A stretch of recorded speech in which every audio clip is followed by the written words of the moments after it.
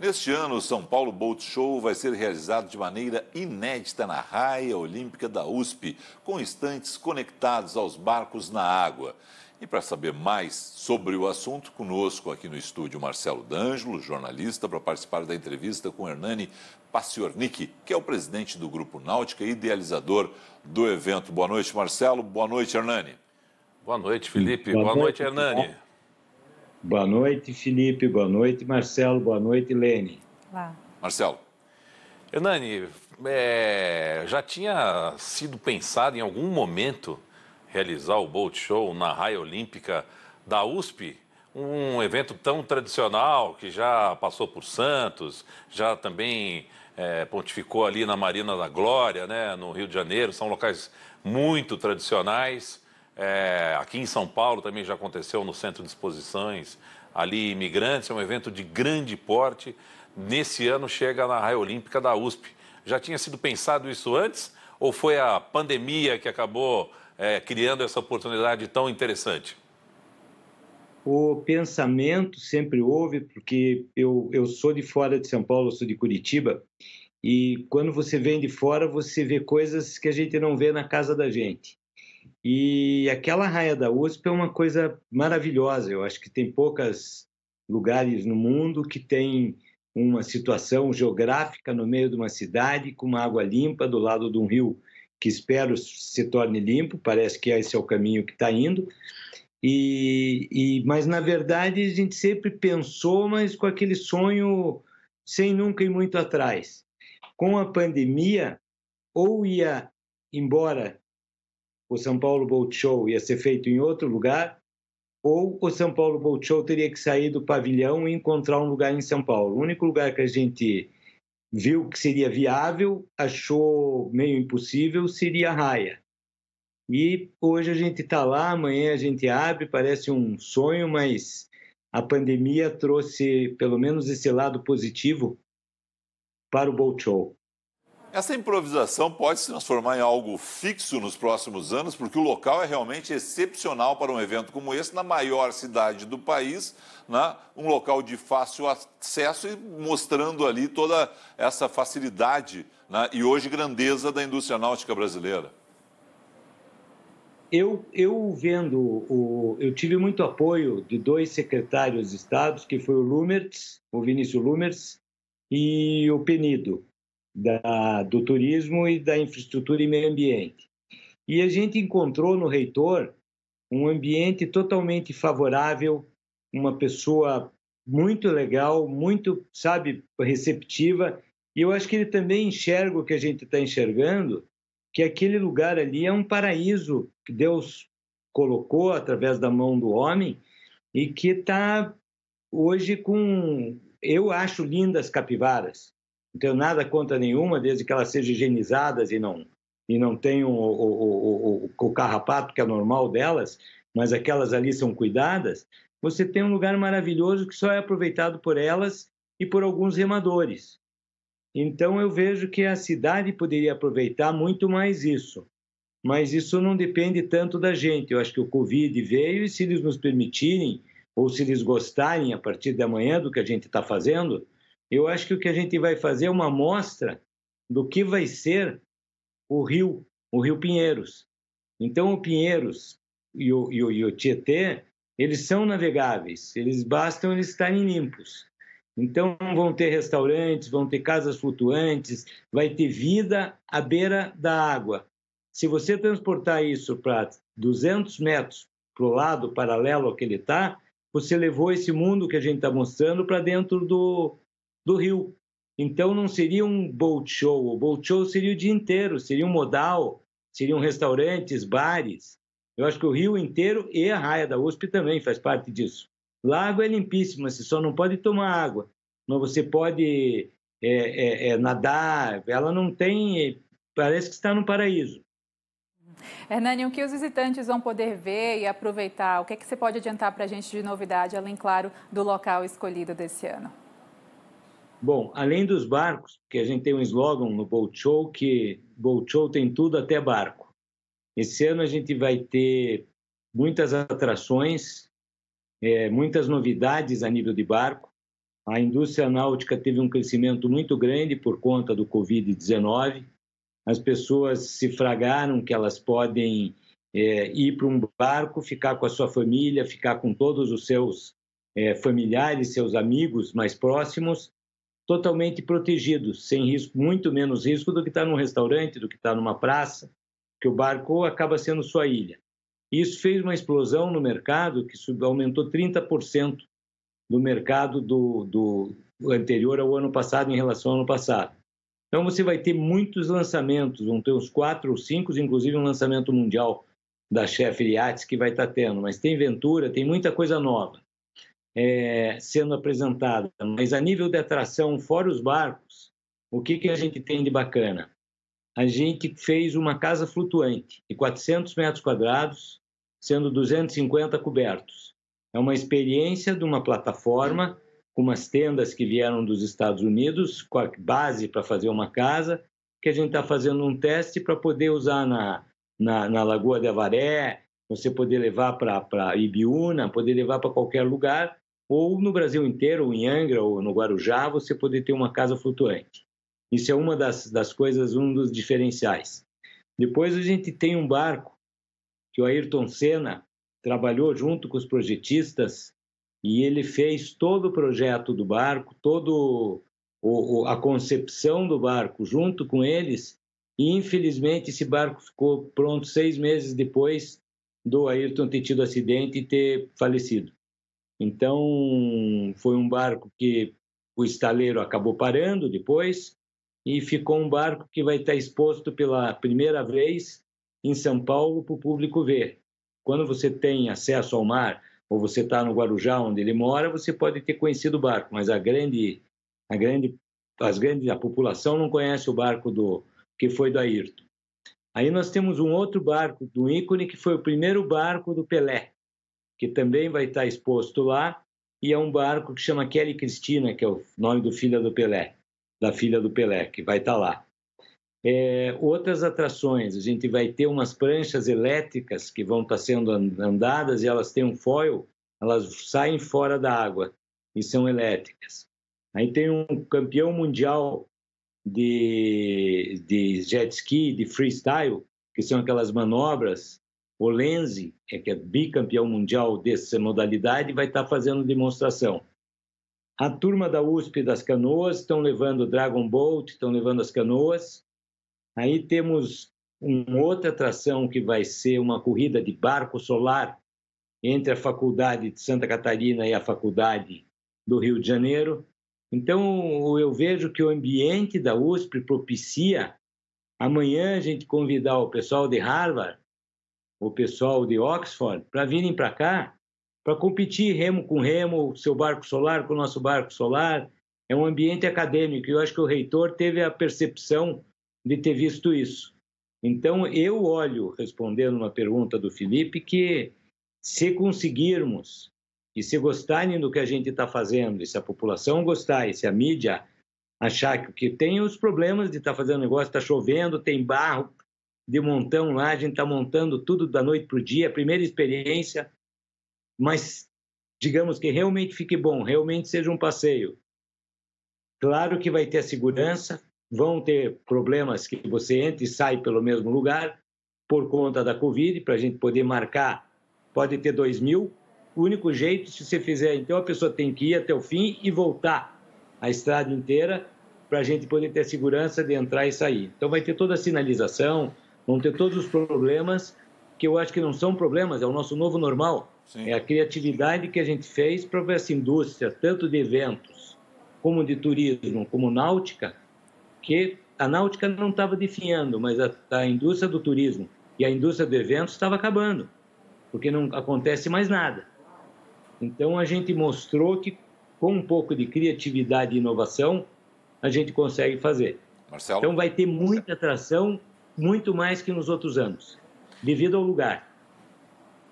Hernani, é uma preocupação grande agora é realmente com a Covid, né? Você já citou algumas das providências mas quais são os cuidados específicos de combate e de prevenção com relação à pandemia que o Boat Show tomou e recomenda a todos aqueles que quiserem curtir aí esse espaço tão diferente, tão diferenciado aqui na cidade de São Paulo?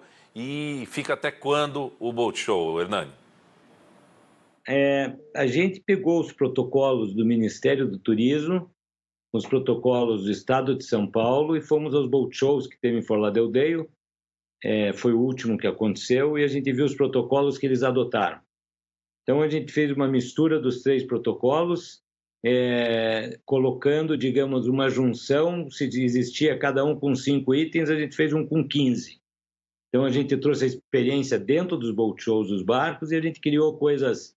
É, todos os estandes vão ter um tapete, tapete que você passa teu pé e ele higieniza teu pé. E uma empresa está fazendo isso na entrada de cada estande. Além de tirar a temperatura de todas as pessoas que vão entrar, tem uma máquina com uma grande televisão e duas pessoas que conseguem enxergar ao mesmo tempo a temperatura de até mil pessoas antes de entrarem no evento. E isso fica mostrado na tela e aparece na tela se a pessoa está com, com algum problema com a temperatura mais alta. Máscara obrigatória para todo mundo, álcool gel em todos os pontos. É, antes de começar o evento, nas áreas comuns nossas do evento, nós vamos ter um, um sistema americano de, um, de, uma detetização que entra e que dura quatro horas. Nós vamos fazer duas horas, duas vezes por dia, antes de começar o evento, que começa às três da tarde, e depois, quando forem sete da noite, a gente vai fazer de novo, fecha por dez minutos o local, detetiza, passa esse, esse líquido e, e você fica protegido, ele mata o que tiver de, de Covid por ali. Todas as, as, as, os estandes, todas as áreas têm na porta de entrada a lotação máxima respeitando um metro e meio de distanciamento de cada espaço. Toda a área de alimentação com o mesmo controle. É, quem vai almoçar é servido em bandejas com um sistema diferente, com plástico. É, é realmente a gente travou uma guerra para poder fazer direito e fazer uma coisa não não não não ter chance de dar risco da, da chance para o azar não ter risco de dar chance para azar. Dentro dos barcos, os próprios estaleiros que são responsáveis por seus barcos, ou eles contratam esse serviço que dura quatro horas e detetiza todo o barco, e a pessoa pode pôr a mão, ou eles vão ter que ter uma pessoa que cada turma que saia, eles vão lá e limpam o barco para entrar o, o próxima pessoa. É, esse é o cuidado que a gente está fazendo. Ruas sinalizadas, máscaras, é, pessoas não permitindo aglomeração, os restaurantes totalmente espalhados em um quilômetro e meio. É, a, a, ideia é não ter é, aglomeração.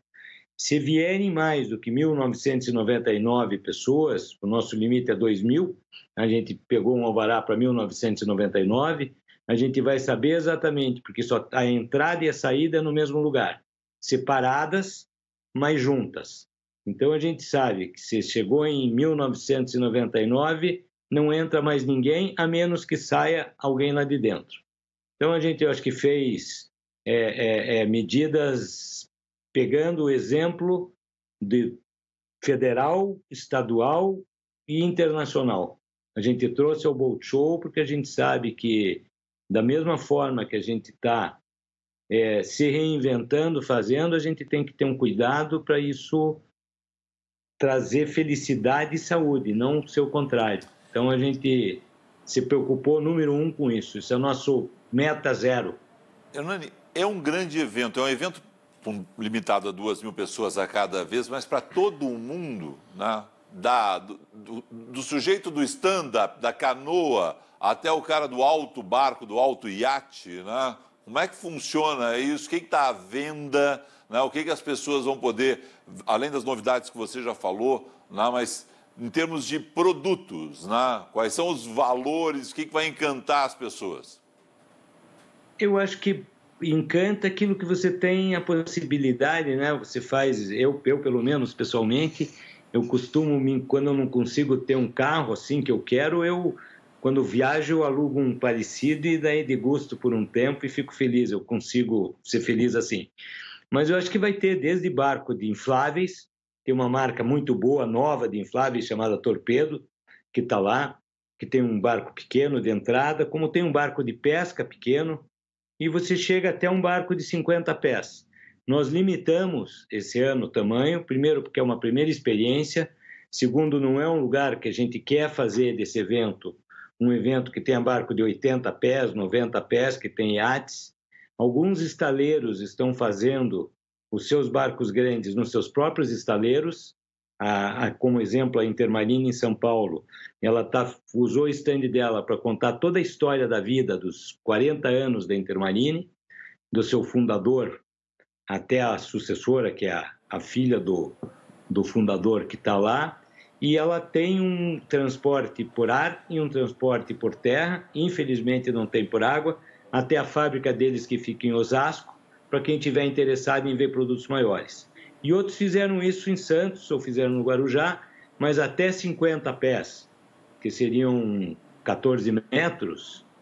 Ali você encontra esses barcos, que são barcos de 4 milhões, 5 milhões, disponíveis que estão ali. Como encontra barcos de 40 mil, 50 mil, que é um barco para você pescar na represa, os equipamentos.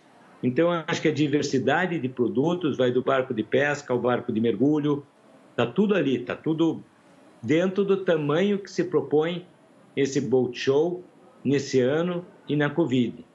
Eu acho que a gente já fez boat show maiores que esse, com barcos muito maiores, com mas eu acho que tão bonito como esse, a, a, até as capivaras andando lá é uma coisa que elas encantam. Sim. Bom, tá Infelizmente tá... tivemos que proibir os cachorros que fique, porque o cachorro corre atrás da capivara é uma coisa normal. Então, como a casa lá é delas, Criança pode, cachorro não. Perfeito. Bom, para fechar aqui, tem a possibilidade de as pessoas também acompanharem virtualmente. Como é que as pessoas fazem, todo o Brasil nesse caso, né, para vir a São Paulo né, e acessar o Boat Show? Bom, a gente fez esse ano, eu acho que acompanhando é, o movimento que está tendo e que agora ficou mais forte, a digitalização de tudo, nós vamos transmitir através do YouTube da TV Náutica, o canal que a Náutica tem, é, da abertura do evento ao final voltar, do evento. Agora não vou ficar, não. Direto de lá, fizemos um estúdio flutuante, fizemos o grupo de jornalistas, estamos com seis, é, é, entre repórteres e editores, seis pessoas, mais a Milena Machado, de apresentadora. Então, somos um time de 12, junto com os técnicos, andando o salão inteiro e transmitindo não só para o Brasil, como para o mundo inteiro. Então, você pode, é, é, através do, do, do, de nós, chegar, falar com a pessoa, entrar, ver o barco.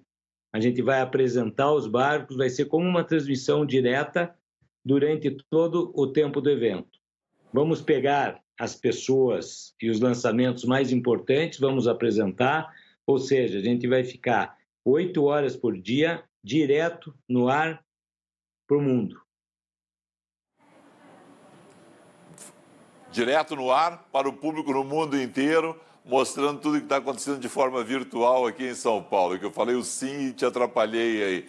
Bom, está é tudo explicado. Quero agradecer muito a você, desejar sucesso, porque a gente imagina que venha realmente gente do país e do exterior para São Paulo para ver esse grande evento né, que começa amanhã na Raia Olímpica da USP. Esse fato inédito, mas um local realmente aprazível demais e que eu imagino que vocês vão continuar usando sim nos próximos anos pela facilidade do acesso né, depois aqui em São Paulo. Obrigado aí, sucesso.